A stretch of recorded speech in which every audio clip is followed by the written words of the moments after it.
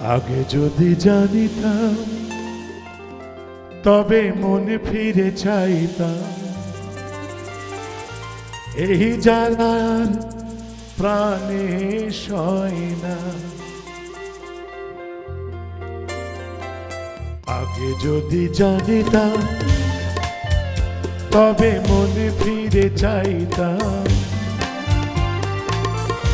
এই জ্বালার প্রাণে সয় না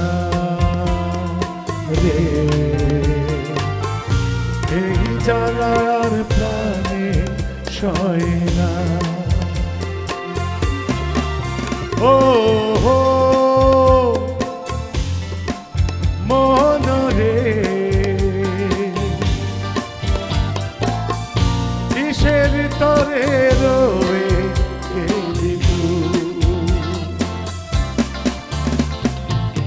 আগে যদি জানিতাম, তবে মনে ফিরে চাইতাম।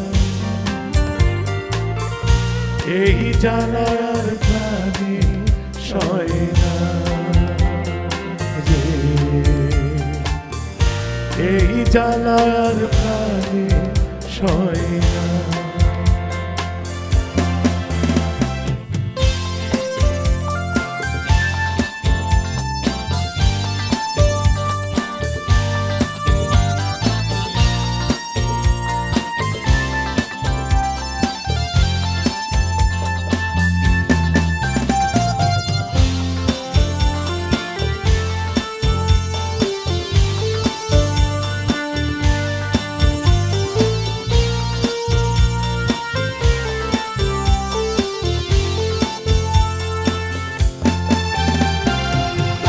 বলেছিলি তুই যে আমার। আমি নাকি ভুলে যাব, ভুলে আমি ঠিকই তো যেতাম। বলেছিলি তুই যে আমার। আমি নাকি ভুলে যাব, ভুলে আমি ঠিকই তো যেতাম।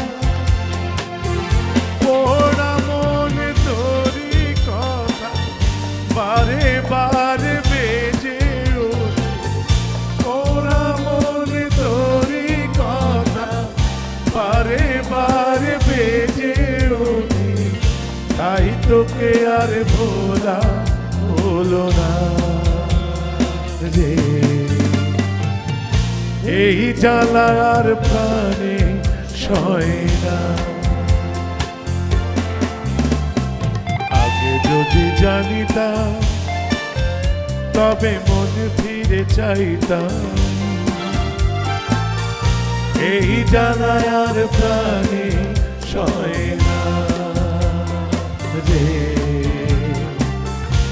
এই জানায় আর প্রাণে।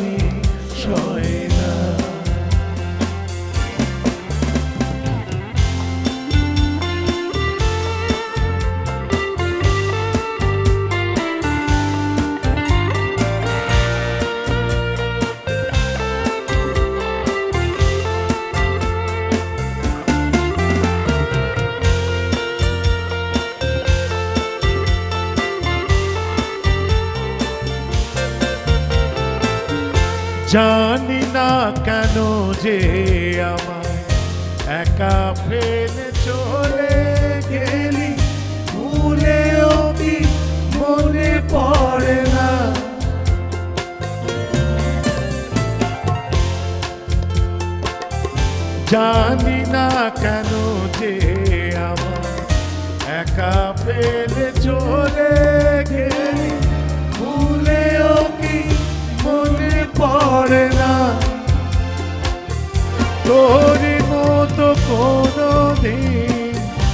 আমিও যে ভুলে যাব তোর মতো কোনো আমিও যে ভুলে যাব, তবু এই জ্বালা প্রাণী সইব না। এই জ্বালায় আর প্রাণে সয় না। যদি জানিতাম তবে মনে ফিরে চাইতাম এই জ্বালায় আর প্রাণে সয় এই জ্বালায় আর প্রাণে সয় এই আর প্রাণে সয় এই জ্বালার প্রাণে সয় এই জ্বালার প্রাণে এই জ্বালার প্রাণ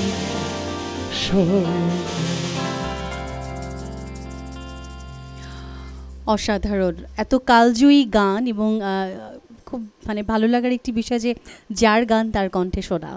এটা আসলে আজকে আমাদের দর্শকদের জন্য একটা বিশেষ একটা পাওয়া যেসব কালজয়ী গানগুলো আজকে আমরা শুনতে পাবো। আসলে আমি লাকিয়া কেন্দ্রের কাছে চিরকৃতজ্ঞ এই কারণে।